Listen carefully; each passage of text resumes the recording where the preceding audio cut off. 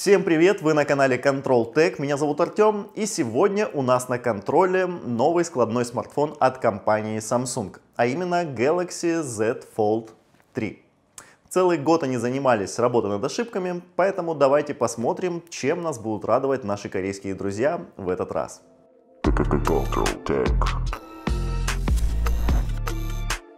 На e-каталоге Samsung Galaxy Z Fold 3 на 256 гигабайт можно найти за 47 340 гривен или 128 285 рублей, что можно сказать дофига. Если в подборе по параметрам выбрать смартфоны со сгибаемым экраном, то получим всего лишь 8 вариантов, среди которых все модели Fold и Flip, на которые мы, кстати, тоже уже делали обзор, а также Motorola Razr 2019 и Huawei Mate XS, которые ближе всего по цене. За 1800 долларов, что эквивалентно 3000 дошираков или 1200 пар штанів за 40 гривень. Твою мать, за 40 гривен штаны, блядь! Мы получаем смартфон, кабель USB-A на USB-C и макулатуру. Забота ли это об экологии или же обычная жажда наживы, решать только вам. Samsung в этом году представили линейку Fold в трех цветах. Phantom Black, Phantom Green и Phantom Silver. На первый взгляд выглядит дорого-богато и прям чувствуется, что в руках я держу премиальное устройство. Не сразу можно заметить, что он похудел в сравнении со вторым фолдом. Третья итерация тоньше в среднем на полмиллиметра и легче на 11 грамм. Казалось бы, но ощутимо. С внешней стороны мы видим изменившийся дизайн блока камер. И вы знаете, в целом неплохо. Разве что из-за разрешения сторон 25 к 9 наш световой меч постоянно норовит выпасть из кармана. Так что совет будущим обладателям Будьте бдительны, когда присаживаетесь. Динамики, качелька регулировки громкости, лоток под две сим-карты, кстати, без возможности расширения памяти с помощью карты памяти. Поэтому загадку про два стула все же придется решать. Либо 256, либо 512 гигабайт. Нам снова встроили сканер отпечатка пальцев клавишу разблокировки. Мнения по поводу комфортности данного решения разнятся, но мне такое подходит идеально. А какой вариант разблокировки больше всего нравится вам? Сбоку, спереди, сзади? Возможно, вы видели новый патент Samsung с разблокировкой с двух сторон? Пишите в комментариях, и мы ответим на самое интересное. Так как наш сегодняшний гость трансформер, который легким движением руки из смартфона превращается в планшет, в первую очередь стоит упомянуть новый шарнирный механизм. По словам корейцев, они неплохо над ним потрудились. И действительно, тесты не такого известного блогера, как мы, Jerry Rick Everything, показывают прогресс по сравнению со второй моделью. Но это касается только шарнира. В остальном у нас все также очень хрупко но не так уж и легко его открыть. Ухватиться не за что, никакого сцепления с гладким алюминием нет. Не то что одной, двумя руками открыть его довольно сложно и стрёмно. Другое дело, когда смартфон вот в таком вот замечательном кожаном чехле. Но не за внешний же вид покупают сие чудо, которое стоит дороже батиной девятки. Давайте разберемся с его тег-составляющими и раскроем этот ящик Пандоры, потому что именно внутри все самое интересное. А вот это уже экранище. Чистой воды планшет. К слову, в третью линейку завезли поддержку стилусов S Pen, так еще и специальный S Pen Fold Edition выкатили. Печально известная пленка все еще на месте. Хотя по заявлению разработчиков они установили нам новое покрытие, которое должно быть более стойким к повреждениям. Давайте не будем обманываться, оно все еще царапается даже ногтем. Снаружи снимать можно, снутри нельзя. В этом году корейцы защитили свои гнущиеся смартфоны от воды по стандарту IPX8. И вы спросите меня, что за матюк такой X8 и почему только от воды.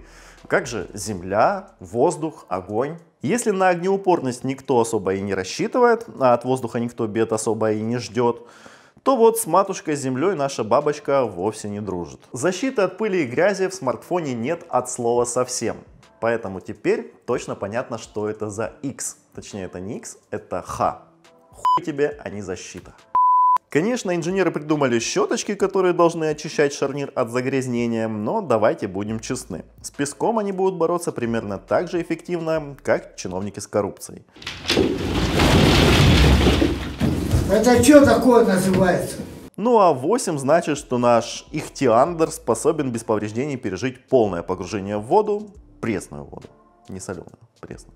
В отличие от прошлого поколения, теперь внешний дисплей на 6,2 дюйма и, как и внутренний, имеет частоту обновления 120 Гц. Разрабы добавили нам 8 пикселей по ширине и 16 пикселей по высоте. А такую радость надо защищать как никогда. Стекло Corning Gorilla Glass Victus и спереди и сзади нам в помощь. Итого мы теперь имеем 2268 на 832 точки. Прирост, который мы заслужили. Не суть. Мы на дисплей прошлого фолда не особо-то и жаловались.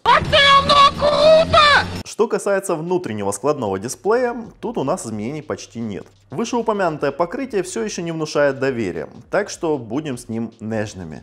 Огромный 7.6 динамик AMOLED 2X дисплей с разрешением 1768 на 2208 пикселей стал немного ярче, но в общем не претерпел особых изменений с прошлого года, что не мешает ему все так же радовать глаз. Работа с дисплеем в согнутом состоянии никуда не пропала. Наша бабочка флексит, но немного по-другому. Режим Flex чуток изменили. Динамики остались на своих местах, на первый взгляд никаких изменений нет. Звук в третьем фолде стал более глубоким и мелодичным, скорее всего это проделки Dolby Atmos аппарат звучит годно. Послушать музыку в любимых наушниках по мини-джеку не получится. Благо для этого у нас есть и USB-C, и Bluetooth 5.2. А вот чтобы эту музыку запустить э, в Spotify, есть 5G модуль от Qualcomm и Wi-Fi 6 поколения, что позволит вам передавать данные со скоростью, измеряемой в гигабитах в секунду.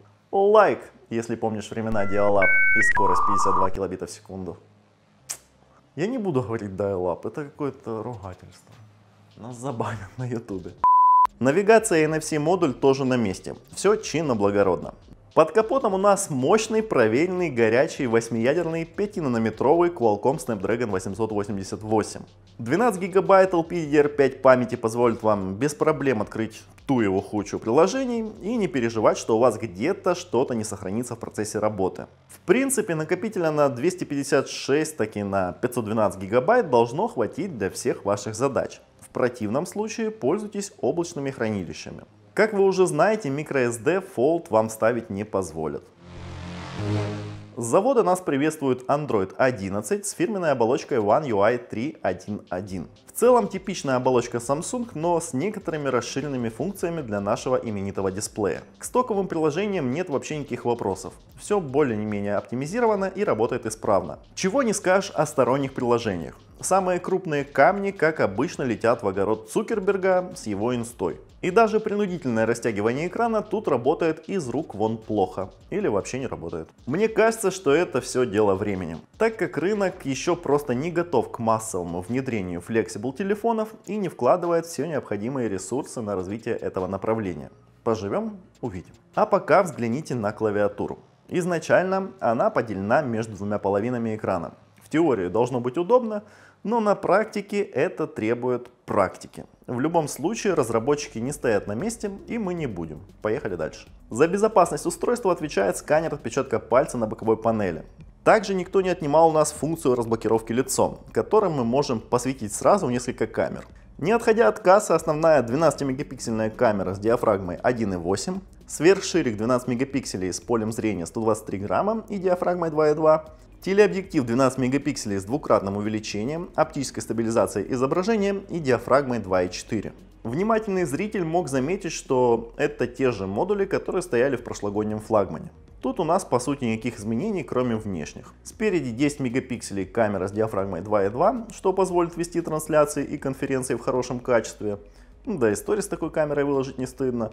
Чего не скажешь о еще одной фишке третьего фолда, а именно скрытый от посторонних глаз сенсор на 4 мегапикселя с диафрагмой 1.8. Круто, классно и абсолютно беспонтово. Мы потеряли в качестве, но сам модуль все еще виден под пикселями и иногда бросается в глаза. А сейчас можете посмотреть на качество снимков и видео.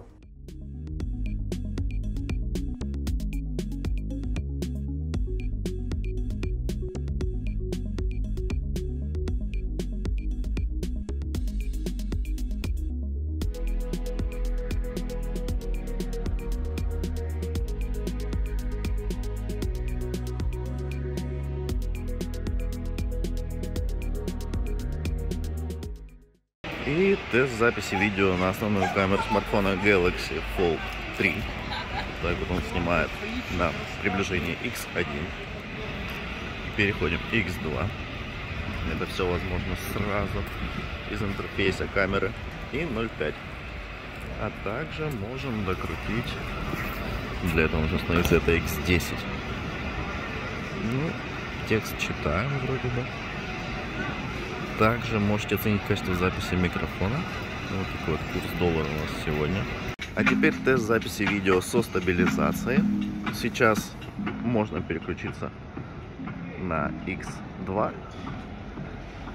и это X1 на всякий случай. А сейчас у нас тест записи видео. Вот такой вот пешеходный день в Одессе. Это у нас X05 и X1 запись видео со стабилизацией.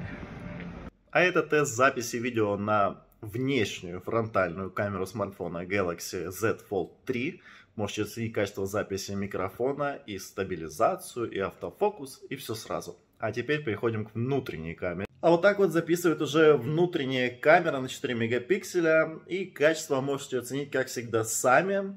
Не забывайте подписываться на канал, ставить лайки, писать крутые комментарии. Мы на все их отвечаем. Чем же мы будем кормить наш мощный проц и громоздкие экраны? Вы хотите кушать? В меню у нас внезапно литиум-полимерный аккум емкостью 4400 мАч. Подается соусом из оптимизации. В противном случае, зачем у нас отжали сутку емкости по сравнению с прошлогодним аккумом, непонятно. Девайса по-прежнему хватает плюс-минус на день, в зависимости от того, как вы будете его использовать. Пополнить заряд можно с помощью проводной до 25 Вт и беспроводной до 10 Вт зарядки. Вы же не забыли, что блочок вам нужно докупить. И мы знаем место, где это сделать лучше всего. Но не скажем, потому что у нас нет рекламной интеграции. В общем говоря, перед нами прошлогодний Fold на максималках. Допилили, доработали, немного прокачали. И вы зададитесь вопросами, почему камеры не топ, почему 1 терабайт не завезли, почему 5, почему 10. А так как девайс без малого стоит почти 2 тонны баксов, так и подавно спросите. Но имидж есть имидж. Возможно, мы находимся на новой ступени эволюционного развития смартфонов, но если денег нет, то лучше смотреть на это развитие со стороны, на примере, вот, допустим, нас. Большое спасибо за просмотр. Не забывайте подписываться на канал, ставить свои лайки и делиться этим видео в социальных сетях. А с вами был Артем. До встречи в следующем видео. Всем пока.